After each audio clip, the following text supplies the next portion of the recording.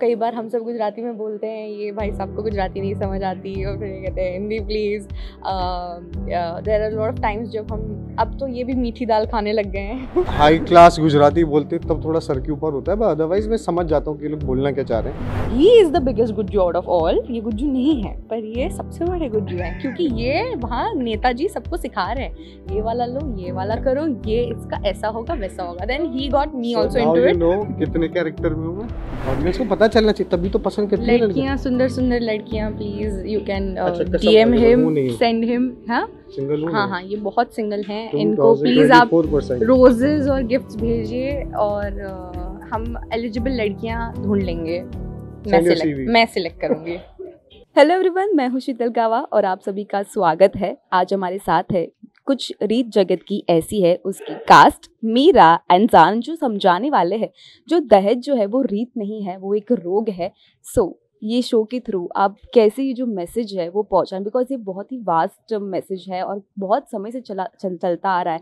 And I am sure इसके ऊपर बहुत सारी बातें भी हुई है बहुत सारे शोज़ भी बने हैं बट आपका ये शो कैसे समझाने वाला है? Um, so the show is not just ये सिर्फ़ एक uh, ऐसा शो नहीं है जो एक टॉपिक के ऊपर ही रहकर हम यू you नो know, सिर्फ़ एक ही उस पर टारगेट कर रहे हैं। But it's a love story between Naren and Nandini और उनकी शादी होती है तब कैसे चीज़ें अनफोल्ड होती है और वो एक चीज़ uh, जिसके वजह से नंदिनी की पूरी लाइफ जो वो जैसी इंसान बनती है वो वो जैसी है उसके मोरल्स उसके वैल्यूज़ जो है वो पूरा सिस्टम हिल जाता है। अम, तो जैसा कि आपने प्रोमो में देखा कि वो कहती कि मुझे मेरा दहेज वापस चाहिए। तो it's that but at the same time दो बहुत सुंदर परिवार हैं एक इनका परिवार है एक मेरा परिवार है। बहुत कॉन्ट्रास्ट हैं। फुल गुजराती कल्चर है तो अम, ये सब देखने में आपको बहुत मज़ा आएगा। एंड जो नरेन है वो कैसे मदद करने वाले हैं नंदनी की? क्या वो इस जो प्रथा चल रही है डावरी की उसमें साथ दे रहे हैं? आपको पता है कि ये डावरी दी है बट वो जानने भी आप अनजान बन रहे हैं। देखिए अब जिससे आप प्यार करते हो उसको तो मतलब हर चीज़ में आप साथ देते हो। तो ऑब्वियसली वो नंदिनी का सपोर्ट करता है वो भी इन चीज़ों के खिलाफ ही है। बट स्टोरी uh, में कुछ ऐसी सिचुएशंस ऐसे सर्कमस्टांसेस आते हैं वे उसको समझ में नहीं आता कि वो क्या करे क्योंकि दोनों लोग कहीं ना कहीं अपनी जगह सही होते हैं एक नज़रिए से जब आप लोग शो देखेंगे तो आप लोगों को पता चलेगा। सो so, बहुत कुछ है इसमें लव स्टोरी के साथ साथ ड्रामा है रोमांस है मॉरल वैल्यूज़ हैं रीतियों को चेंज करने की कोशिशें हैं। So it's a mixture of everything full drama show आने वाला है सोनी पे with big fat Gujarati family जिसमें आपको मज़ा आ जाएगा। And we are just looking forward to it let's see how it goes and uh, Meera आप तो खुद गुजरात में बॉर्न हुई है एंड uh, आपकी ये कितने करीब होगा? बिकॉज़ ये पूरा गुजराती कल्चर ही है एंड बहुत ही कम ऐसे शोज़ बने हैं जो टिपिकल गुजराती के ऊपर फोकस करते हैं।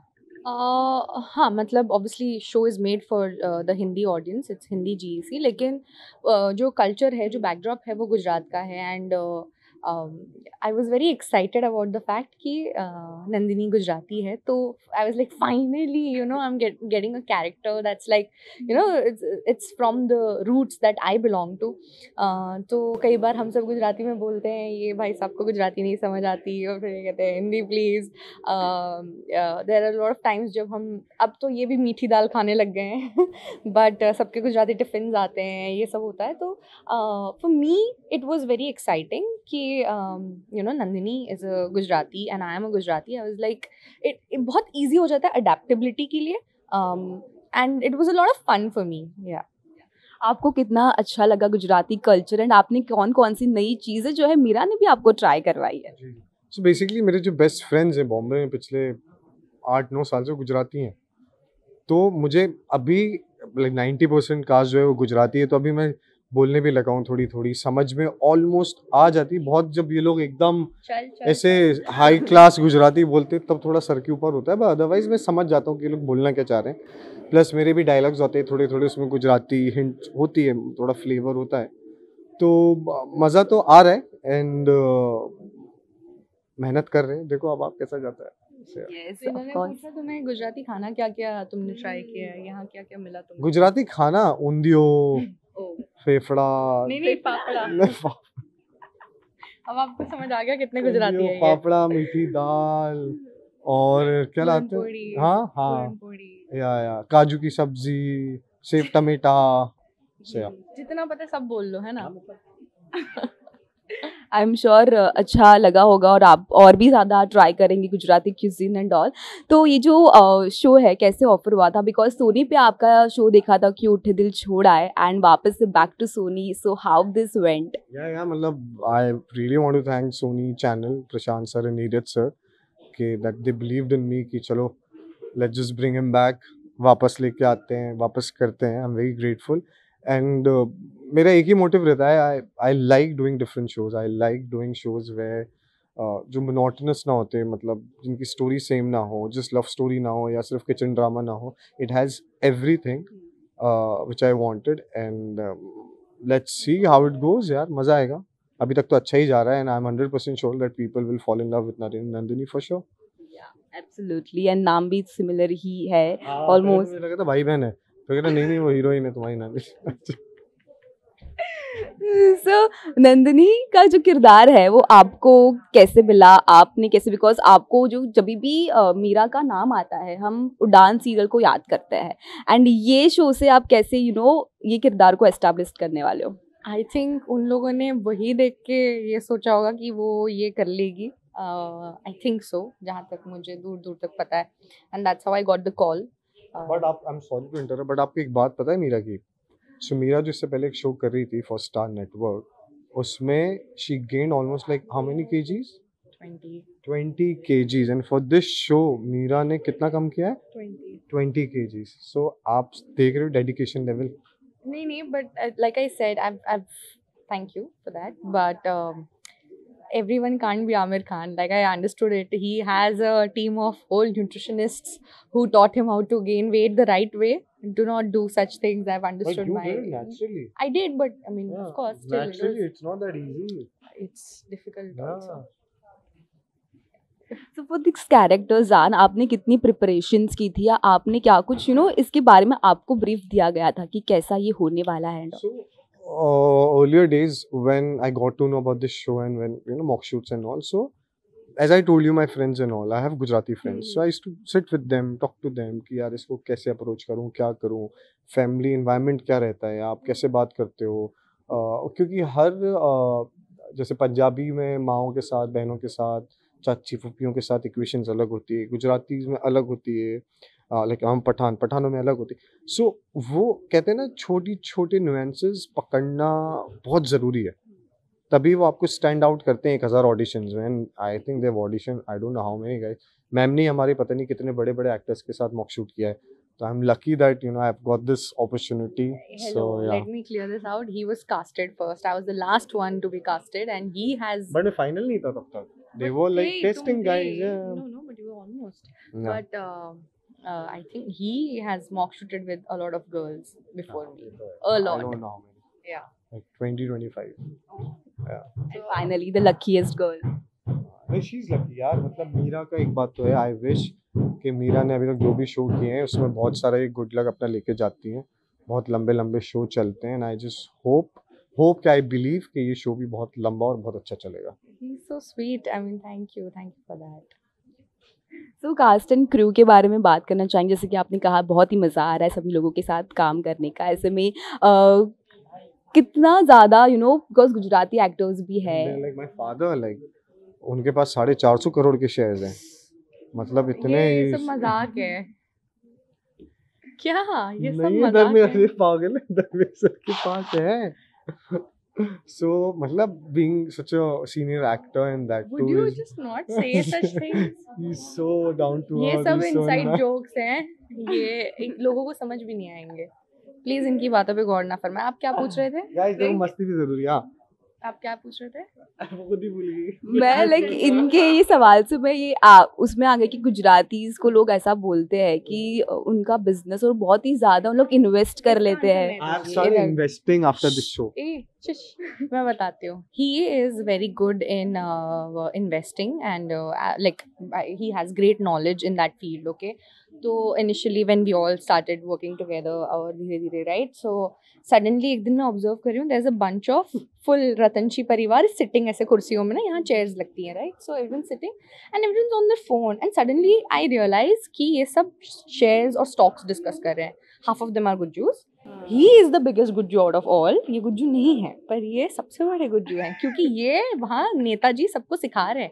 ये वाला लो ये वाला करो ये इसका ऐसा होगा वैसा होगा। Then he got me now into you it कितने कैरेक्टर में हूँ मैं?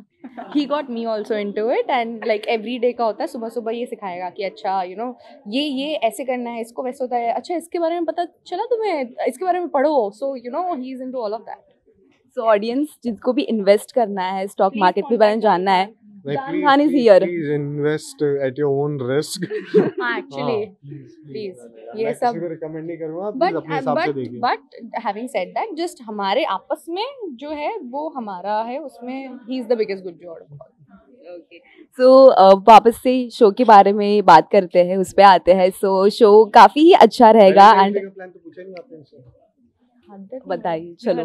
जान ने ये बात छेड़ दी है तो अभी I am shooting nothing off लिया तुमने? मतलब क्लियरली जान बहुत ही मस्ती के मूड में है। लाइक सेट पे भी ऐसा ही है माहौल। इससे ज़्यादा है। यू हैव नो आइडिया ये तो अभी मेलो डाउन हुआ है। He just before the interview he said चलो अभी मैं शांत हो जाता हूँ। Otherwise he is full riot on a set चलो जान को पूछ लेते हैं कि स्मार्टली उसने इग्नोर किया सवाल। क्या? Valentine plans. हाँ. See, uh, I have to attend a wedding. Uh, I have a half day छुट्टी for that. जिसमें से? जिसमें से आधे से यहाँ से जो हमारे फ्रेंड्स हैं वो भी होंगे वहाँ पे I'm not there. तुम इनवाइटेड नहीं हो हाँ, तो- तो मुझे क्या पता तो but I have people who will go with me so anyway and then I think evening में we are shooting for something so yeah दिन में कौन सी शादी आपको पूछ लेते हैं। पवित्र को पूछ लो यार वो भी उसी शादी में जा रही है। यस सॉरी हाँ आपने मीरा का तो जान लिया आप बताइए बिकॉज़ वैलेंटाइंस डे वीक था। For sure my mom my sister because I am single so yeah I will be celebrating Valentine's Day with my family audience को पता चलना चाहिए तभी तो पसंद करती है लड़कियाँ। सुंदर सुंदर लड़कियाँ please you can DM him. Send him हाँ। सिंगल हूँ? हाँ हाँ ये बहुत सिंगल हैं। इनको प्लीज़ आप 2024% रोजेस और गिफ्ट्स भेजिए और अ, हम एलिजिबल लड़कियाँ ढूंढ लेंगे। मैं सिलेक्ट मैं सिलेक्ट करूँगी। ठीक है? जब ऐसी कास्ट हो साथ में तो ऑफ़ स्क्रीन मस्ती और ऑन स्क्रीन जोड़ी भी देखने में काफ़ी मज़ा आएगा ऑडियंस को। So thank you so much Jaan and Meera lastly audience को कहेंगे कि कब आ रहा है ये show to all the viewers of E24 guys हमारा शो आ रहा है। कुछ रीत जगत की ऐसी है। Monday to Friday from 19 Feb 8:30 PM do watch it बहुत सारा प्यार दीजिए। अब मीरा बोलेगी। सेम सेम बहुत सारा प्यार दीजिए। And please come and watch our show बहुत मज़ा आएगा आपको। थैंक यू सो मच जय श्री कृष्ण। मैं हूँ नंदिनी। गुजरात के एक छोटे से कस्बे उपलेटा से। तीन साल की थी, जब मैंने अपनी माँ को खो दिया। क्यों खोया अपनी माँ को? दहेज की वजह से। खोया नहीं, यूँ कह लो कि छीन लिया गया। मेरे मामा और नाना ने बहुत सारा दहेज दिया था। लेकिन वो दहेज भी मेरे पापा को कम पड़ गया।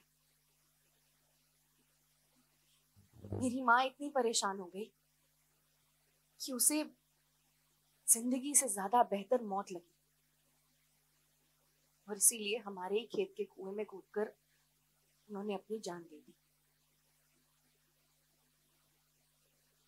बहुत छोटी सी थी मैं। मेरा एक छोटा भाई भी, मितेश। मामा और मामी ने हम दोनों को पाल पोस कर बड़ा किया। मामा आर्थिक रूप से ज़्यादा स्ट्रांग नहीं थे। तो हमारे लिए महँगे महँगे खिलौने ना ला सके। लेकिन बचपन से ही उन्होंने मेरे लिए बहुत अच्छी अच्छी किताबें लाई। किताबें पढ़कर दुनिया को देखने का नज़रिया बना। अपने आसपास परंपराएँ देखती थी। जब भी कुछ उटपटांग सा लगता था तो मन में सवाल उठते थे। लेकिन छोटी थी ना तो कभी सवाल नहीं पूछे। तब मेरे मामा ने सिखाया कि, नंदू, बेटा सवाल पूछ। बस, तब से लेकर अब तक नंदू को जब भी कुछ गलत लगता है, वो सवाल पूछती। मेरी कुछ सहेलियाँ, कुछ रिश्तेदारों को खोया मैं। अपनी माँ को खोने के बाद ऐसा लगने लगा जैसे दहेज एक बहुत बड़ी कुरीत है। और आप सब तो जानते ही होंगे, सरकार ने दहेज का लेना और देना बहुत पहले ही बंद करवा दिया। लेकिन फिर भी वो प्रथा आज भी चली आ रही बस तभी मैंने डिसाइड कर लिया कि मैं शादी करूँगी तो ऐसे घर में कि मेरे मामा को फिर कभी किसी को दहेज ना देना पड़े। और फिर मुझे वो मिला जो हर लड़की को चाहिए। एक सुंदर सी परियों वाली प्रेम कहानी। इतना अच्छा ससुराल मिला कि क्या बताऊँ? मैं इतनी खुश थी बहुत ही नामचीन और बहुत ही बड़ा परिवार। लेकिन दहेज के नाम पर उन्होंने एक कूटी कौड़ी तक नहीं मांगी। मुझे लगा कि ज़िंदगी में इससे अच्छा तो और कुछ हो ही नहीं सकता। लेकिन फिर एक दिन मेरे पैरों तले ज़मीन खिसक गई। मुझे पता चला कि वो खेत, वो कुआँ जो मेरे मामा की जमा पूंजी थी उसे मेरे ससुराल वालों ने अपने नाम करवा लिया।